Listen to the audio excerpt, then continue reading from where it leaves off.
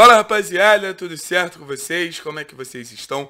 Um belo dia para todos nós, afinal é dia de Furacão, é dia de Atlético, é dia de Copa Sul-Americana, essa competição que a torcida do Furacão tanto gosta e hoje tem nosso segundo confronto por essa fase de grupos, né? Esse novo formato da competição agora tem sim fase de grupos e o Atlético estreou muito bem, jogando contra o Alcas, aparentemente nosso principal adversário nessa luta pela primeira vaga, e o Atlético ganhou fora de casa. Então agora pega um adversário mais acessível, um adversário que perdeu seu primeiro jogo para o Melgar, começou muito bem, abrindo 2 a 0 mas tomou a virada, mostrou uma série de fragilidades que a gente comentou num vídeo que a gente postou ontem. Então vamos fazer aquele vídeo de sempre, como eu escalaria o Atlético contra o rival tal. Dessa vez é contra o Metropolitanos. Acho que a gente pode partir de vários princípios, mas eu acho que a gente não pode ignorar o seguinte: jogo se ganha dentro de campo. O Atlético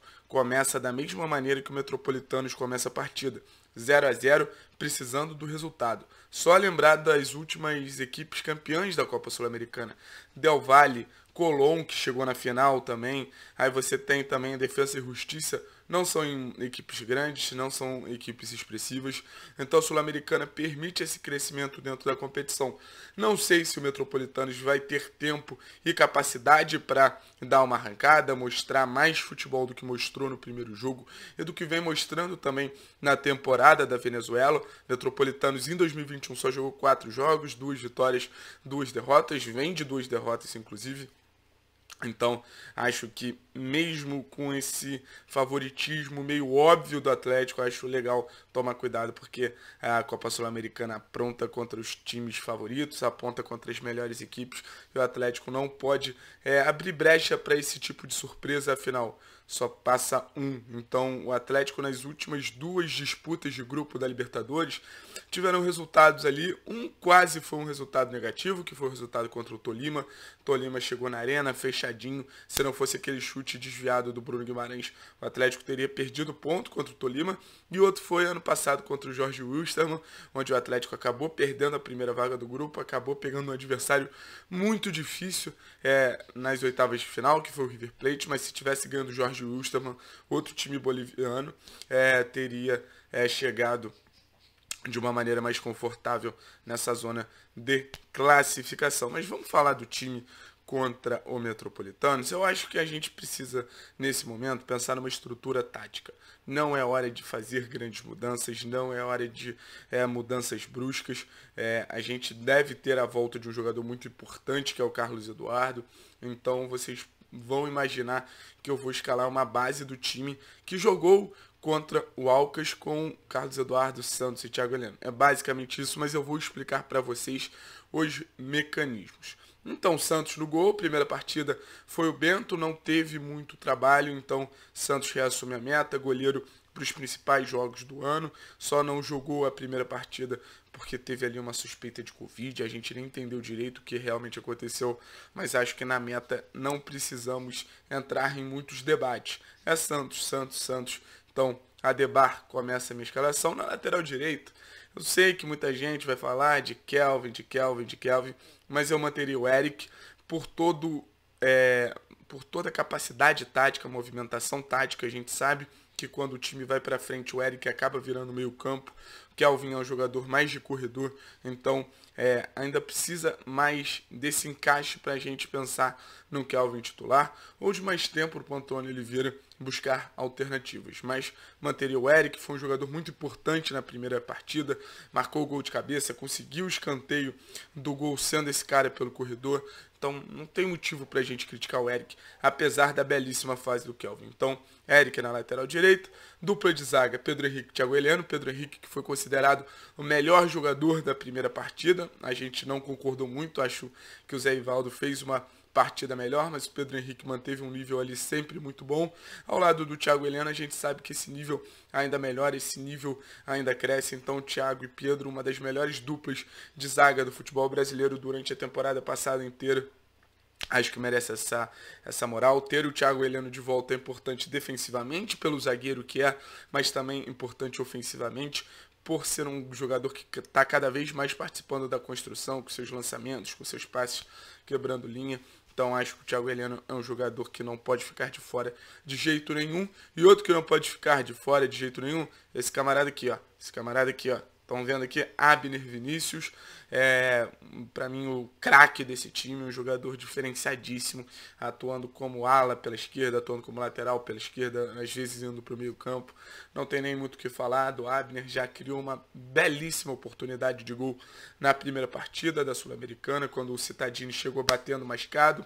Não foi a melhor finalização, mas o papel o Abner fez muito bem esse papel criativo, esse papel de um meia pela lateral mesmo. Então é nosso camisa 10 atuando ali pela esquerda, deve aproveitar muito bem aquele corredor. Vamos ver como o Abner se comporta. Então nossa linha defensiva um pouco modificada da estreia de Santos, Eric, Thiago Heleno voltando, Pedro Henrique e Abner. Ou Pedro Henrique e Thiago Heleno. Afinal, Pedro Henrique atua pela direita, Thiago Heleno pela esquerda. Agora vamos falar do nosso meio campo. Eu acho que eu manteria a dupla de volantes Léo Citadini e Richard. Richard, para mim, o melhor jogador da primeira partida, é, conseguindo fazer com que o Atlético construísse desde trás. É um jogador que a gente precisa entender a funcionalidade dele. E ele vem ajudando muito o Atlético nessa função de se encontrar mais, se achar mais. Eu falei durante muito tempo que o Richard era um jogador limitado, mas ele está mostrando um crescimento muito interessante no Atlético, então não acho que faça sentido tirar o Richard, apesar da gente ter Cauã, apesar da gente ter é, Luan Patrick podendo atuar ali, são vários jovens pedindo passagem nessa cabeça de área, mas o Richard bota uma banca e fala, por enquanto eu sou titular Ano passado a gente viu um Wellington começando a titular e depois perdendo a vaga. A gente não sabe o que vai acontecer com o Richard, mas por enquanto não tem por que tirar o Richard. Eu trocaria a dupla de volantes do Richard. É, no primeiro jogo foi o Christian, Christian bem apagado, não participou tanto do jogo. Christian tem muita, muita, muita qualidade, precisa participar mais ativamente das partidas. Então botaria o Citadini, o Citadini que tem um papel muito importante na transição, foi o nosso jogador de escape na primeira partida e fez muito bem nosso papel, desafogando várias vezes o Atlético. Então vejo o Cita como um jogador muito importante, que não vem sendo tão valorizado, mas se a torcida do Atlético perdeu o Citadini, aí vocês vão ver como é ruim perder um jogador dessa capacidade. Então, Cita e Richard, uma dupla mais experiente, uma dupla mais pronta, uma dupla mais física. Então, acho que é uma boa dupla de volante. Agora, nosso quarteto ofensivo, eu vou começar falando do Nicão. Obviamente, o Nicão é outro jogador que nem se pensa tirar ele do time titular. O jogador de controle é o fator desconcertante do Atlético, desequilibrante do Atlético no último terço do gramado. Conseguiu ativar bem os laterais. A gente precisa muito das participações dos laterais, tanto pela direita quanto pela esquerda, ou dos alas, né? Já que o Carlos Eduardo pode ser esse ala pela direita. Então, é Carlos Eduardo e Abner. E o Nicão é o cara para ativar esses alas muito bem bem na bola parada, muito bem criando oportunidades de gol. Então, mérito zaço de uma grande primeira partida do Nicão. E tenho certeza que ele vai manter o nível. Então, continua no meu time titular. Pela, pelo lado esquerdo, eu botaria o Fernando Canezinho. Partida boa contra o Alcas, não tem muito o que falar. Sempre ajudando na pressão, ajudando na contenção, dando amplitude. Sendo um jogador que é, se caprichar mais um pouquinho, vai ser um grandíssimo meio. Teve uma oportunidade contra o Walker, se ele rolasse um pouquinho mais caprichado, Kaiser poderia chegar batendo. Então mantém o Canezinho, jogador muito inteligente, um jogador que ajuda muito o time. Também tem um jogo mais silencioso, assim como Citadinho, mas é tão importante quanto. No lado direito, aí sim, mais uma novidade, botaria o Carlos Eduardo no time, um jogador que não conseguiu atuar no primeiro jogo por estar lesionado. Muita gente está falando, ah, tira o Carlos Eduardo da equipe, tira o Carlos Eduardo da equipe. Acho que não faz o menor sentido tirar um jogador que tem uma importância ímpar para o Atlético, participou de 30% dos gols no último Campeonato Brasileiro, dando assistência, fazendo gol, criando grandes oportunidades. Sete ou oito grandes oportunidades que o Carlos Eduardo criou não viraram gol. Então, além das 12 participações em gol diretas, você teve outras é, possibilidades de balançar a rede que os seus companheiros não aproveitaram. Então, o jogador que teve um crescimento muito grande. Vamos ver como ele se encaixa nesse contexto do Antônio Oliveira, jogando mais por dentro, sendo quase um meia ali na entrada da área, um segundo atacante. Enfim, vamos ver como as coisas funcionam para o Cadu, ou se ele vai voltar a atuar no corredor mesmo. Mas nesse primeiro momento não acho que faça muito sentido tirar o Cadu. Cadu não podendo atuar, pela partida que fez contra o Cascavel, pela capacidade de jogar entre linhas que ele mostrou nesse primeiro momento e também por ter entrado bem contra o Alcas, sendo nosso jogador de escape. pensaria no Vitinho. Quem sabe até o Kelvin fazendo uma dobradinha ali com o Eric. Pode ser outra boa opção. E de centroavante, Renato Kaiser, primeiro jogo seguro, tabelando, conseguindo sair da área para abrir espaço. É um jogador que recebe muito bem os chutões vindo da defesa.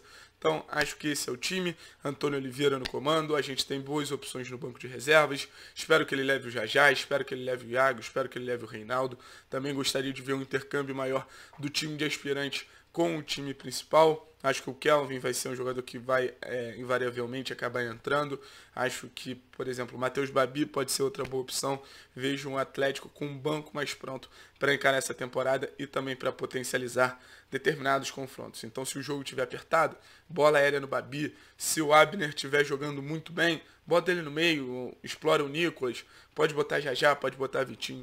Enfim, é um Atlético para manter essa boa fase. São três jogos seguidos vencendo o Alcas por 1 a 0 3x1 contra o Cascavel, 2 a 0 contra o Rio Branco. Então, começo muito bom, muito animador de trabalho do professor Antônio Oliveira. Vamos com tudo, vamos para cima dos caras, porque a gente precisa dessa vitória para se manter no topo da tabela, afinal só se classificam, beleza?